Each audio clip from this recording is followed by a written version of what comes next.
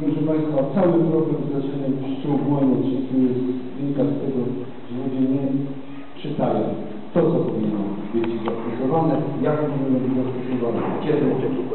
I wszystkie inne domniemania wynikają z faktu, że mają, powiedział, wyobrażenia, jakie jest wyobrażenie strony, wszystkich z tego wynikających konsekwencji.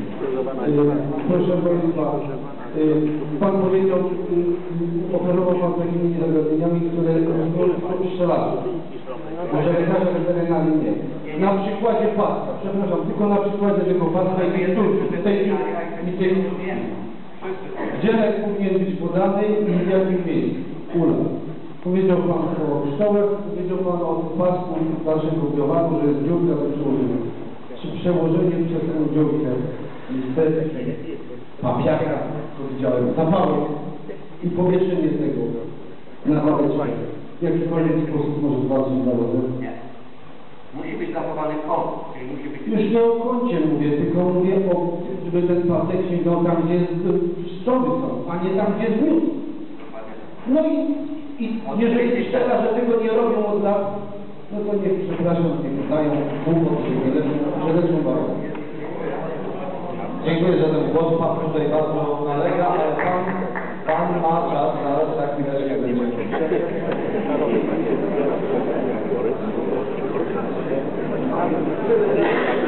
Witam Państwa, witam ekspertów. Ryszard Wolski, Mazowiecki Związek Pszczelarzy. Swoją pasiekę prowadzę od dziesiątek lat, od 12 lat prowadzę metodą ekologiczną. Rozwód wziąłem z puławami bardzo dawno. Ożeniłem się z Witą i nie mam problemu z warozą i z innymi chorobami. My na dzień dzisiejszy to jest 35 lat mija, jak nasze pszczoły wzięły ślub z warozą. Pszczoły świętują ogromną rocznicę bardzo fajnie, ale my, co my z tego mamy? Ciało naukowe, pracuje, robi doktoraty, pokazuje nam tu wszystko i ma teraz niedosyt w, no, w wykładzie pani doktor Bochoweckiej i korzystając z tej miłej okazji, że jest szef weterynarii, minister, e, będę miał kilka postulatów, takich konkretnych. Do pani doktor byłoby wszystko w porządku, wielka praca, wielki nakład, ale brakuje mi jednego podstawowego czynnika w tej tabeli czynników nieskuteczności walki z. Wiem, że to, co powiem, jest niepopularne, bo prawda jest niepopularna.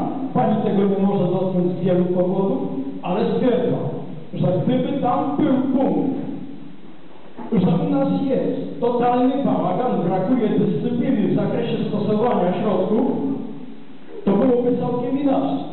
Bo jeden wkłada, drugi wyciąga, trzeci zastanawia się, a co ja mam nabyć. I teraz możemy liczyć i leczyć nasze pszczoły. A, ktoś tam powiedział do końca świata jeszcze dłużej, ale prędzej banany tutaj urosną w Polsce niż my, nasze pszczoły wezmą rozruszna Proszę Państwa, tak być dalej nie może. Uważam, że za dyscyplinę w tym roku powinien wziąć się Polski Związek Pszczelarski jako ten organ najważniejszy decydujący o naszym pszczelarstwie, tylko będzie miał problem z pszczelarzami biznesmenami, bo ja dzielę na biznesmenów, na pszczelarzy drobnych, średnich i tych, którzy nie są zdecydowani, co ze sobą zrobić. Takich mamy bardzo dużo. I oni nam podrzucają chorobę, oni nas e, leczą w drugą stronę. Eee, no bo zapytać któregoś, a byłem przecież na spotkaniu z pszczelarzami zawodowymi w Puławach, ale którego bym nie zapytał, czym leczysz parozę? Zresztą moja taka sprawa. Nie powiedzą, czym leczą parozę, czy ją tępią, bo przecież, bo przecież. Popatrz tam na jak ukraińscy mówią. No, proszę nam pachać się luz, który mi się przywieził z zapada. A my luz przywiezią z wostoka. Wsio. Przepraszam za dygresję. Taka jest rzeczywistość i taka jest prawda, panie ministrze. Na dzień dzisiejszy. Ja jestem człowiekiem, gdzie mi nikt i niczym nie zaszkodzi. 62 trzy razy samodzielnie. Ale panu tak. Gdyby weterynaria, a jeszcze wcześniej powiem, gdzie nasze pieniądze idą z tego krajowego wsparcia pszczelarstwa? W tej chwili to głównie idą do producentów sprzętu. Mamy sprzęt na poziomie europejskim, nawet wyżej. Sprzęt, który jest fajny, drogi i tak dalej. Jak zabraknie naszych pszczół, to to będzie mogiła, to będzie cmentarz, to będzie skarcel. I nikt nad tym nie myśli, że gdyby tak odwrócić, zabrać pieniądze z tych dobrodziejstw, zabrać pieniądze z kieszeni tych producentów, którzy podnoszą cenę sprzętu, my za niego płacimy tyle, co przed Na dół. wsparciem, To jest prawo. nic z tego nie ma. Tylko mają producenci. Gdyby tak zabrać te pieniądze i dać do ciała naukowego, postawić mu zadanie, w ciągu dwóch lat macie wygenerować porządny lek, bo Anglicy na dzień dzisiejszy są w końcowym etapie leku wspaniałego, ekologicznego, całorocznego. Nie mają problemu z zarazem. Ja z nimi wziąłem ja też nie mam problemu. Eee, Włosi konsumują dwa razy. No ale tam urządzenie kosztuje 2,5 tysiąca euro. No kto tu z nas kupi takie? Nawet gdyby chciał kupić, zakupić to koło, to musi być dyscyplina, że wszyscy powiaty w korelacji z województwem, korelacji z krajem muszą w jednym czasie robić tym środkiem, a nie innym. Następna sprawa.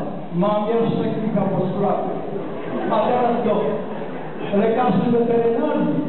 Do lekarzy weterynarii. Ilu pan dzisiaj lekarzy weterynarii może posłać do pasiek, którzy przejdą mi się w pasiece w czasie dniu lotnego i powiedzą, proszę mi, jedynki, siódemki, siedemnastki, trzydziestki piątki te rodziny otworzyć, ja je sprawdzę.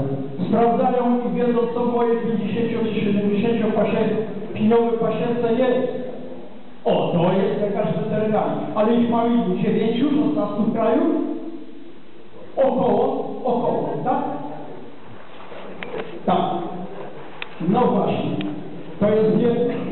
Następna sprawa. Lekarze weterynarii powinni przejąć od przyszłego roku całą, że tak powiem, opiekę. Dać leki za przysłowiową złotówkę, ale w gestii lekarzy weterynarii. I oni decydowali o tym, o wszystkim. Miałby trzeba zrobić badania miodu, badania pszczół, a lekarz weterynarii wydać stosowne zalecenia i zaświadczenie, że ja ten miód, mo, ten mogę wprowadzać do społeczeństwa, do spożycia. Yy, raz w roku przynajmniej, ale nie później jak w marcu, lekarz weterynarii na terenie odpowiedzialnym za spór powiatowy powinien dokonać właściwego szkolenia ze wszystkimi zrzeszonymi pszczelarzami i niezrzeszonymi i powinien ich mieć w rejestrze. Bo gdy tego nie będzie, tak jak powiedziałem, wcześniej urosną tutaj banany, niż się pozbędziemy barozy. Dziękuję Państwu za uwagę. Dziękuję. Dziękuję bardzo emocjonalne wystąpienie. Proszę Państwa, ja nie wiem, co ja mam zrobić z sobą. Jak widzę Pana Profesora Stanisława Kuruka, to mi się słabo robi. Ponieważ podpadłem tej rozciągłości nie widzę doktora Szumkowskiego. Będą mnie bić na pewno dzisiaj, no ale cóż. Yy, Szanowni Państwo, no widzicie, ja Was naprawdę bardzo przepraszam, ale nie jeszcze do wieczora muszę tu siedzieć. Słuchaj. Yy, już oddaję Panu ministrowi, bo Pan minister chciał tak, tak, Pytania Panie. Trzy pytania. Pierwsza kwestia to była kwestia naukowa, prawda? Czyli kwestia wiedzy. Ja powiem Panu, że w zasadzie Pan poparł to, co mówiłem wcześniej. trzeba dużo wkładu i też również wkładu finansowe na naukę. To nie jest tylko nauka w sensie szkoły, bo one są bardzo potrzebne. Oczywiście zgadzam się z Panem, że w powiatach są też bardzo potrzebne. Ja nie wiem, ja robię takie szkolenia w powiecie, ale to inicjatywa musi być z dwóch stron. Nie może tylko powiatowy, zmuszenie powiatowy rejestruje ilość mm, pasien na swoim powiecie na wniosek tego. Nie może zmusić żadnego na nie będzie tam przed policją panie, wypełnić ten wniosek. To, to, nie ma o czym mówić. Ale pieniędzy, które są tam w Warszawie przeznaczone dla państwa resortu, najłatwiej nie powinni zrobić policjantów. Absolutnie pan ma rację. Powinny iść dla nas, ale najłatwiej jest zrobić na szkolenia. Na szkolenia i na wiedzę. Wie pan, ja byłem teraz w Brukseli, bo ja jestem od 9 lutego żeby tam stary tygodni, tam gdzie wykonuje mojej pracy. Pierwszy widziałem trzy kraje, bo musiałem wschodni, bo tam jest zagrożenie bardzo poważne pomocy afrykańskiej świni, nam wieloma rzeczami, też byłem na Ukrainie, pierwszy na Ukrainie. Tam ma pana, tam jest służba państwowa, jest służba prywatna, tam są rodzice państwowe, tam są rodzice prywatne, tam są apteki państwowe, tam są apteki prywatne, tam jest przeobrażenie służby weterynaryjnej na nową formę i jest jeszcze kryzys ustrojowy. Tam jest 20 albo więcej leków na są spokojnie można dostać w każdym miejscu. Ale byłem też panu w Brukseli. I wie pan co założyłem? Oglądałem te tabelki wydatkowania pieniędzy poprzez kraje unijne, wszystkie, które są w Unii, gdzie najwięcej pieniędzy jest wydawanych w resorcie.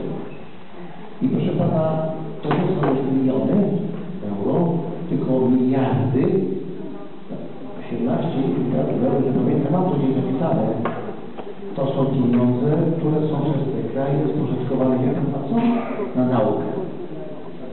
Na naukę. I to co Pan mówi. Nie tylko na naukę szkolenie, ale na naukę na instytuty. I ja się z Panem zgadzam. Nie że będę mówił do naukowców, nawet tych, których tu mamy. Nie zrobię grupę. Ja nawet mogę w tym uczestniczyć jako nadzorująca jednostka. I rzeczywiście spowodują to, niech będą dzielne prostą, która się mieści na jednej stronie na dwóch papieru, powinien ulotki, jak stosować jakie leki. Jest to po prostu niepowszechną y, rzeczą, prawda? To jest jedna rzecz. Się z Panem całkowicie zgadzam. Druga rzecz. Wie Pan, no, ja, wie pan, ja się z Panem całkowicie zgadzam. Następna rzecz, jeśli chodzi o, lekarzy weterynarii, fachowców na temat pszczół. Jest ich mało, jest ich mało, nikogo nie można zmusić do specjalizacji, ale jak musi Pan powiedzieć, przyznać rację, mamy w Polsce 17 specjalizacji chorób. Jak Pan weterynarii ma specjalizacji 17. I są też opady użytkowe. Tam skończyło, tego nie mam zadane w telefonie, bo to mogę podać na, na mailu. To jest jedna z najmniejszych grup, ale jest tam w Polsce tam, nie pamiętam, Polska 40 osób. Ale Pana, jak nie zdaję sprawę, że lekarz reprezentacji powiatowy czy rodzina pracujący jest powiatami. Oni nie mają super fachowców ani od chorób pszczół, super fachowców ani od chorób ryb, ani super fachowców od chorób gołębi, od zwierząt futerkowych i tak dalej. Tego się po prostu nie da zrobić. Ale wy macie Państwo specjalistów i tutaj trzeba wybierać spośród Was rzeczoznawców, rzeczoznawców, czyli osoby współpracujące z terytorium weterynarii. Ja taki, tak jak zrozumiałem, mam. Jak ja, ja coś robię, ja sobie biorę rzeczoznawcę i jedną osobę to wcale nie musi być żadna z weterynarii, tylko może być pani po biologii, po biotechnologii, coś i oni razem dobierają drugą. A że ten rzeczoznawca to musi być autorytet, który współ, przerażony i dba o to dobrze. Chyba to i tak tu widzę, lekarze wszystkim nie nastąpią, muszą być rzeczoznawcy i osoby wytypowane przez wasze środowiska, które pomogą w tej pracy. I pytanie trzecie, to nie wiem. Czy, czy, wystarczy, czy wystarczy moje wypowiedzi, czy, czy to coś za mało?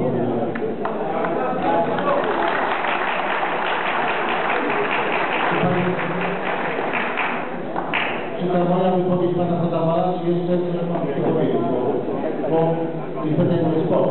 Ja na wszystkie odpowiedziałem pytania? Mniej więcej? Czy ja odpowiedziałem na wszystkie pytania Panu mniej więcej? Czy, czy też? Tak. No tak, to nie, nie, nie zależy w ciągu pięciu minut. Ja zdaję sobie sprawę. spotkania mieszkań zapisane i nic się później nie dzieje. Co pan? Każde takie spotkanie, konferencje wszelkie, Szeregowi, czy w Puławach i w innych miejscach odbywają się może papieru, może słów, doktoraty ludzie robią, ale w naszym kształcie naprawdę nic nie idzie do przodu. Coś z tym trzeba robić.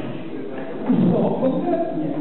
Konkretnie. Albo zabrać pieniądze tym, którym, którzy biorą za, te, za to pieniądze, a nic nie robią, albo, albo dać tym, którzy chcą robić i zrobią. No to, no to są takie wyjścia.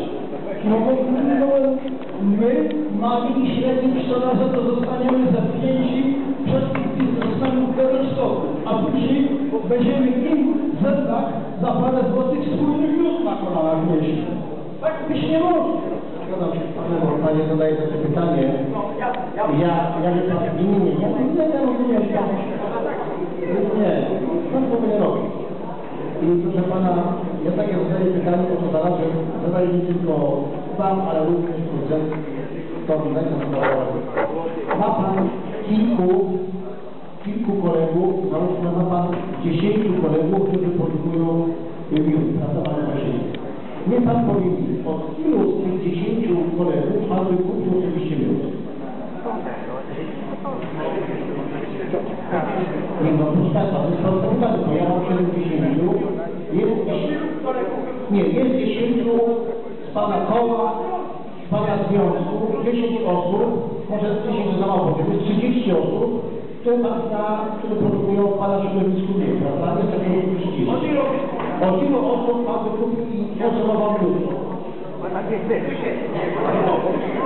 Ale proszę powiedzieć prawdę. Od ilu? Nigdy go nie przydaje. Którzy rzeczywiście uczciwie to robią. Bardzo. Dziękuję. Bardzo dziękuję. Dwa słoiki, jeden jest drugie żona i taką ciągle siekę. W sklepie wielkopowierzchniowym, w markecie i tak dalej. Na targowisku też nie. Oczywiście. Pana, ja, ja też zgadzam się z Panem i też, też nie kupuję miodu w markecie tylko producenta, ale przyzna Pan że z tych 30 osób Pan wykupił tylko kilku osób. I to jest taka rzeczywistość. Ja powtarzam jeszcze raz. Państwo stanowicie elitę. To, że tu przyjechaliście, to, że tu jesteście, macie wiedzę, jesteście elitą w środowisku. Ale to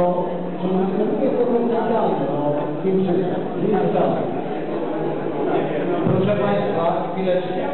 Proszę, tu się dzieją.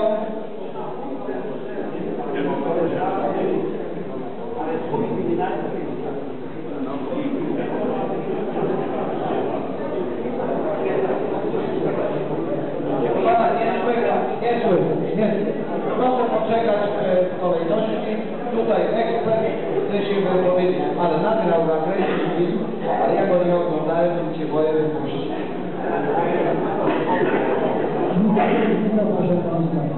Ja tylko 41 lat prowadzę posiedzę i zacznę od tutaj tego rozwinięcia. Gminek, proszę Państwa, dla mnie to jest kafel i dla innych pszczelarzy też, żeby były inaczej traktowane. Dosłownie mówię, to jest kafel. W XXI wieku, żeby palić pasieki, to jest troszeczkę wydaje. Po znalezieniu przez karników informację od widzu dostaje pan minister minister powiadania lekarza wojewódzkiego, wojewódzki powiatowego, a powiatowy przyjeżdża palić pasiekę daną, gdzie rodziny. Takie są procedury. Natomiast pani doktor Pogorecka powiedziała, że na miesiąc czasu na spadanie próbki zębnicy krwawy, tak było przynajmniej w naszych wypadkach. Także płyta ja uważam jako katar, Ostatnio uczyłem dwie rodziny miodem na Włoci. Tutaj ma Pani dane, gdyż lód na Włoci, jak podaje profesor Kędzia, zwalcza nawet bakterie gruntowe złocistego u ludzi. Czyli po prostu bakterie z wilca złocistego traktowane, potraktowane odpowiednio miodem na Włoci giną, bo faktycznie trudno nic nie znaleziono blisko 30 lat. Natomiast jeśli idzie o sprawę jakości miodu, tak jak niektórzy uważają, że ja bez tytułu, prowadzone jest od lat, co najmniej 2006 roku, analizy miodu i ten artykuł powstał, ile miodu jest w miodzie, to to pan minister ma wątpliwości odpowiedniowe, tu są analizy właśnie z zarodnościami plawanowymi. Teraz, proszę Państwa, dodatkowy powstał. Jeżeli to będzie, można prosić ten filmik, jest krótki, ta wędza, wędza 2. To jest, proszę Państwa, wędza stawiona do gniazda w ubiegłym sezonie przez cały rok widać pracę pszczół. Tej połówki brak, to ta połówka jest w laboratorium właśnie tym, które robiło analizę miodu. Teraz mamy dokładne analizy zrobione wosku. Dlatego na lat, jeżeli jeżeli lekarz wojewódzki ze Śląskiego Województwa, to brać Bożą, lekarz powiatowy pobrał próbki w 2004 roku, sprawa była w sądzie, Pszczelarz przegrał sprawę. Można śmiało ja to pokomentuję troszeczkę. Tak, proszę Państwa, wyglądają pszczoły na złej jakości węgli. One się nie wygryzają. I to są zdjęcia zrobione w 2013 roku. Te pszczoły są przyklejone odwłokami do węgli. Są przyklejone. I teraz tak, odbudowana wędza to jest wysiłek pszczoły. Zaczerwione, wykarmione i te pszczoły muszą być wyrzucone, oczyszczone z tych komórek. Druga tura dopiero po prostu jako taką już się wygrywa. Ja nie miałem czasu kontrolować. Natomiast do analizy wzięto za sklepy tych komórek, z których się pszczoły nie wygryzały, bo nie mieliśmy wędy i została zrobiona analiza bardzo dokładna, po prostu skład chemiczny, które wszystkie są w bosku. W różnych węglach, które są stosowane w Polsce, znaleziono około, zidentyfikowano około 300 związków chemicznych. 300 związków chemicznych. Na tej podstawie, proszę bardzo, to jest Uniwersytet Opolski, ta osoba robiła, nie ja, panie doktorze, bez tytułu, ja korzystam z wiedzy naukowców laboratorium, którzy robią analizy na inne powody.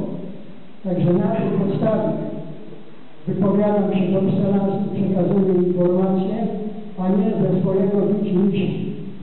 Tak samo dodawana parakina do wosku pszczelego szkodzi pszczołom, to są inne doniesienia, a nie takie jak zrobili naukowcy z Instytutu Pszczelarskiego. I to macie dwóch dziewiczy po prostu i to są właśnie pszczoły, które nie wygryzały się.